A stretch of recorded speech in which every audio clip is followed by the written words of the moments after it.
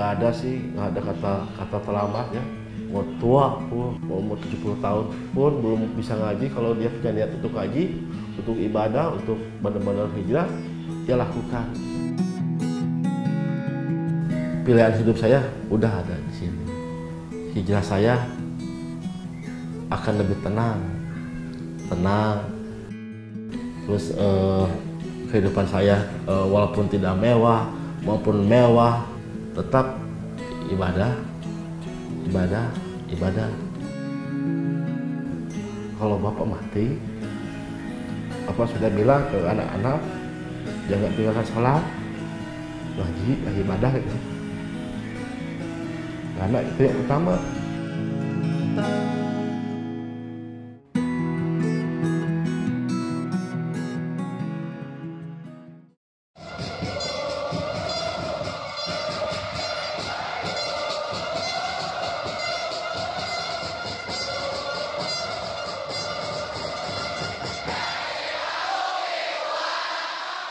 Semangat, strategi, dan fisik para pemain Persib di tengah lapangan pertandingan sangat menentukan nasibnya untuk membawa gelar juara. Namun tak hanya itu, dukungan penggemar fanatik atau yang biasa disebut para bobotoh menjadi hal penting dalam suatu pertandingan. Sorak-sorai dan yel-yel dikobarkan dengan sangat kompak oleh bobotoh yang memang loyal kepada tim jagoannya ini. Yel-yel inilah yang menjadi salah satu penyemangat pemain Persib. Di balik kekompakan itu ternyata ada peran seorang pemandu sorak yang begitu bersemangat mengajak para bobotoh untuk bersorak-sorai. Dialah Mulyana atau yang biasa disapa Yana Umar. Sejak tahun 1996, Yana menghabiskan separuh waktunya untuk tim kesayangannya ini. Sosoknya yang sedikit temperamental sering membuat pria kelahiran Bandung 1978 ini kerap tersulut amarah saat menonton pertandingan. Tak jarang ia pun berkelahi dengan supporter tim lawan.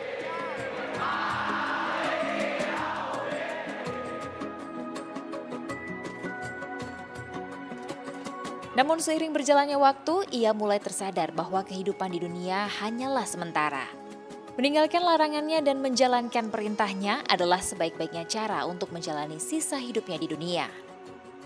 Hai orang-orang yang beriman, taatilah Allah dan taatilah Rasulnya dan ulil amri di antara kamu Kemudian jika kamu berlainan pendapat tentang sesuatu, maka kembalikanlah ia kepada Allah dan Rasulnya jika kamu benar-benar beriman kepada Allah dan hari kemudian.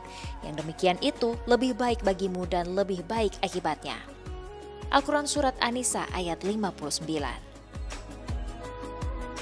Hidup pada Bobotoh, saya aktif itu kalau kalau tahun 90 sudah sudah sudah nonton, sudah kenal Persib, dari kecil sudah kenal Persib tahun 90 sudah uh, tahun 92 lah 92 kita udah udah pernah nonton sama orang tua ke Siliwangi. Terus uh, tahun 93 udah berani nonton sendiri gitu. jadi saya itu dari, dari dari kecil udah udah udah nonton itu dari kecil. Tahun 95 saya udah udah berangkat ke ke Senayan kalau kehidupan saya itu biasa aja sebenarnya. Nggak gimana gitu. Cuman pingin cuman apa ya keselin aja mungkin ya. Kalau kata anak-anak mah jengkel gitu. Kesal lihat dia tuh bau bau main bau berantem. Dari kecil bandar saya itu paling males males sekolah malas hal apa pun gitu ya tapi kalau nonton nggak malas anehnya gitu. Saya itu kalau suruh ngaji juga lari saya itu suruh mandi juga lari nggak mau. Ada ada maghrib. Ngaji sholat. Wah lari sih. Ke mana aja main. Itu waktu waktu SD Hidayah yang merupakan rahasia ilahi memang bisa datang kepada siapa pun tanpa mengenal waktu dan juga caranya. Begitu pula Yana yang mendapatkan petunjuk hidupnya justru melalui mimpi. Hal inilah yang kemudian menjadi bahan perenungannya. Itu mimpi, mimpi kiamat. Mimpi kiamat. Dalam mimpi kiamat tuh, jadi posisi saya itu seperti seperti di, di, di atas bukit. Di atas bukit, saya ngeliat gini, orang-orang di bawah itu kan ada sih di samping-samping lihat gunung diadu gitu kan. Lihat uh, matahari sama bulan itu deket merendeng ini. Ada yang takbir ada yang adan ada saudara ada temen gitu. tapi nggak ada yang peduli sama saya gitu. Dalam mimpi itu nggak ada. Jadi temen lari ngeliat ke saya. Saudara lari ngeliat ke saya saya tuh gini kan saya takbir nggak ada yang nolong. Paling saya kena itu saat ngobrol sama adalah teman ustad pak ustad. Ngobrol sharing lah gitu kan. Da, dia ustad tapi bawa usianya di bawah saya. Tat, gini gini gini gini.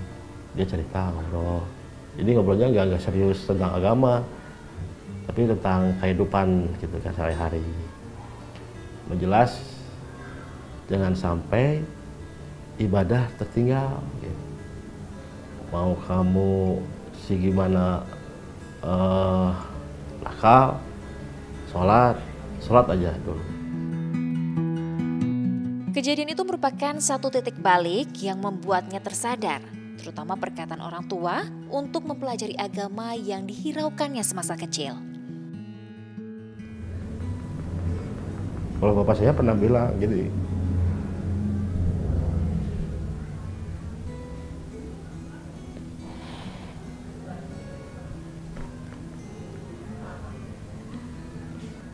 bilang kalau bapak mati bapak sudah bilang ke anak-anak jangan tinggalkan sholat ngaji ibadah gitu ya.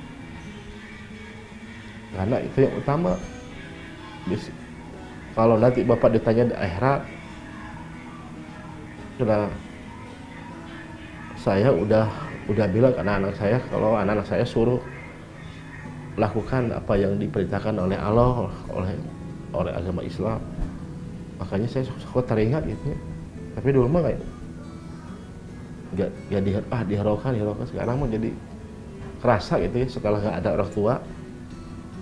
Oh ini itu rasanya uh, apa yang dikatakan orang tua saya dulu kerasanya saya sekarang nggak bisa buat apa-apa gitu kan.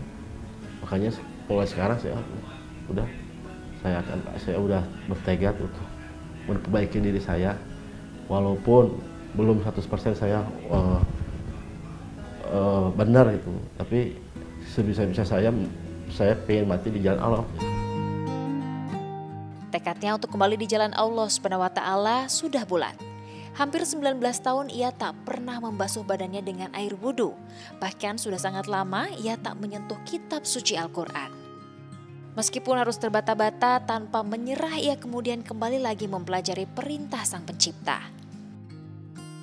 Saya benar, saya itu belajar dari nol, dari nol sekali.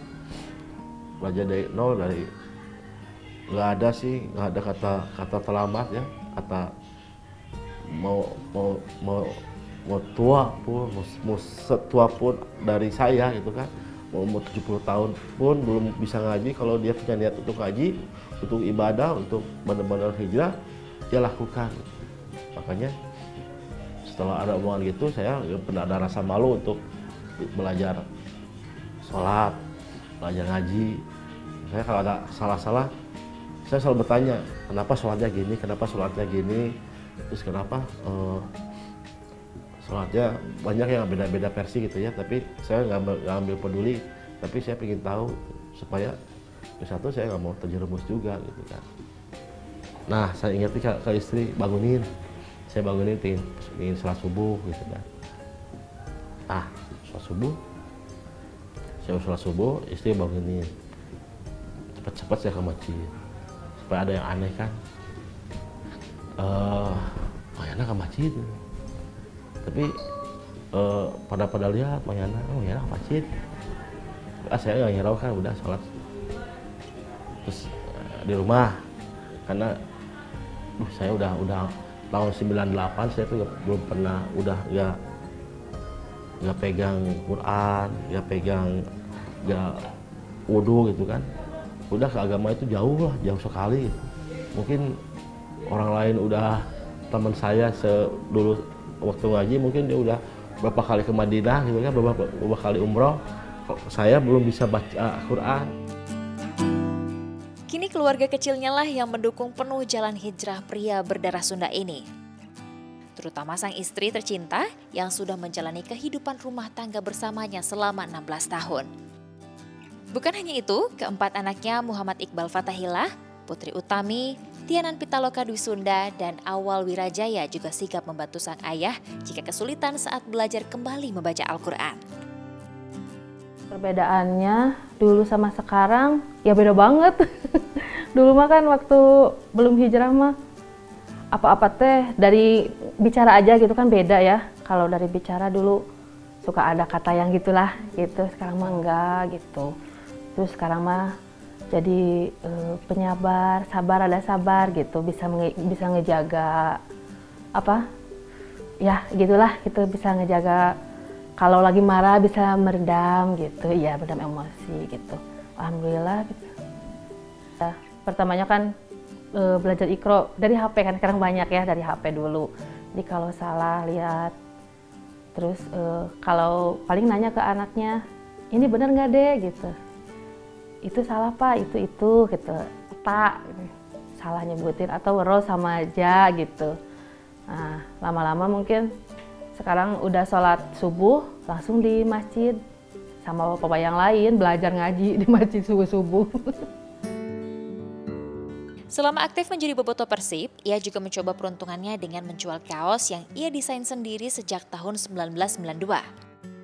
Jika sebelumnya desain tersebut bertuliskan kata-kata yang mendukung tim Pangeran Biru, kini tak jarang ia justru membuat kaos dengan desain yang memiliki pesan untuk selalu mengingat kebaikan.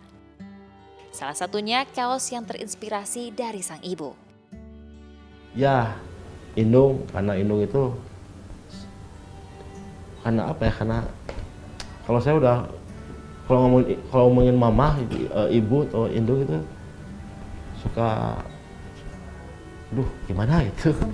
Tersentuh kalau oh indung kan bahasa orang orang Sunda mah kan indung teh mamanya indung jadi uh, indung itu ya mama. Udah uh, surga surganya dunia. Mama itu surganya dunia.